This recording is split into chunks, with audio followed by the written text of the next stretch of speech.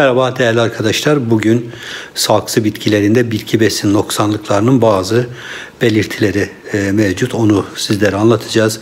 Özellikle bizim e, yetiştirdiğimiz barış çiçeği gördüğünüz gibi oldukça görkemli çiçekleri açmış. Bitki sağlıklı e, bir miktar gübre takviyesiyle oldukça görkemli bir hal almasını sağlamıştık.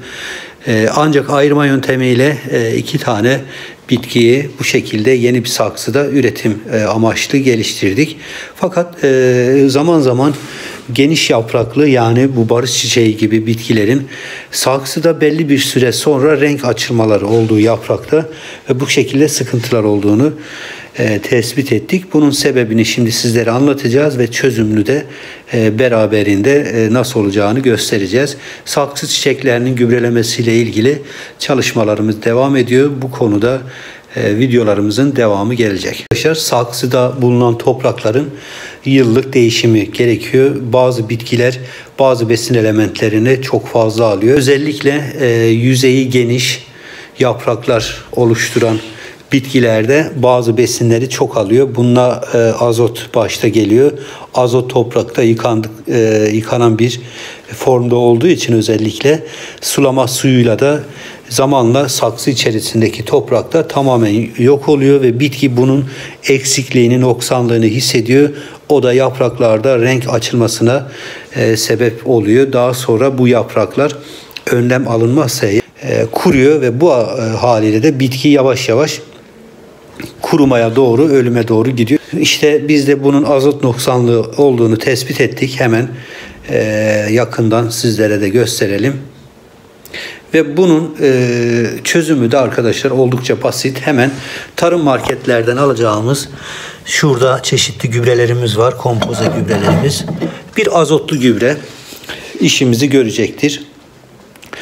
E, kalsiyum amonyum nitrat Yine farklı e, azot kaynağı olan bazı gübreler var. Bizim elimizde şu anda %42'lik üre dediğimiz ve azot miktarı oldukça yüksek olan bir azotlu gübre. Ve bunu açıyoruz ve arkadaşlar gördüğünüz gibi gübreyi de gösterelim. Tarım marketlerden bu gübreyi alabilirsiniz. Ee, üre istediğiniz kadar 100 gram 1 kilo istediğiniz civarda bunu alabilirsiniz. Aldıktan sonra yaklaşık bir çay kaşığı arkadaşlar bir çay kaşığı dolusu evet şu şekilde şekere benziyor.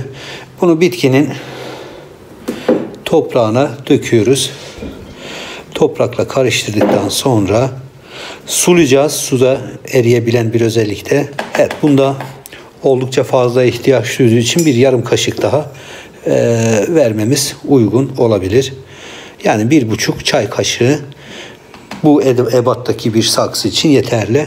İyice toprağa karıştırdıktan sonra hafif suluyoruz. Bu su gübreyi eriterek arkadaşlar evet şu şekilde bitkinin alacağı forma getirecek ve böylece değerli arkadaşlar bitkimizin rengi yavaş yavaş normale dönecek. Bu arada da gelişimi artacak. Azotlu gübre bitkilerin yeşil aksamını e, fazlalaştıran bir yapıda. Yani yeşil aksamı e, gerekli olan bitkilerde bunu kullanabiliriz. Özellikle gelişim döneminde kullanacağımız azotlu gübreler bitkilerimizin daha hızlı ve sağlıklı bir şekilde büyümesini sağlayacak. Evet değerli dostlar işte bitkilerinde bu şekilde renk açılmaları varsa e, anlattığımız şekliyle çözüme kavuşturmanız mümkün.